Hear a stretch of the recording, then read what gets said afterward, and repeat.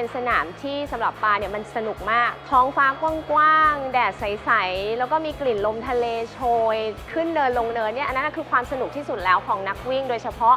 คนที่วิ่งมาราธอนนะคะควรจะต้องไปสัมผัสสนามนี้มันมีเสน่ห์มากจริงๆ คุณพ่อคุณแม่ก็ได้มาวิ่งด้วยกัน อาจจะคนละระยะ แต่ว่าเราก็มาเจอกันที่หลังเส้นชัย เวลาวิ่งเนี่ยมันทำให้เรารู้สึกว่ามันนอกจากสนุกแล้วแบบมันมีสมาธิ มันได้อยู่กับตัวเอง แล้วสำหรับปามันเป็นความผ่อนคลายอย่างหนึ่งจากทุกอย่างที่มันหนักมาทั้งวันอะตอนที่วิ่งเราจะรู้สึกอิสระฟรี แล้วก็แบบผ่อนคลายที่สุดแล้ว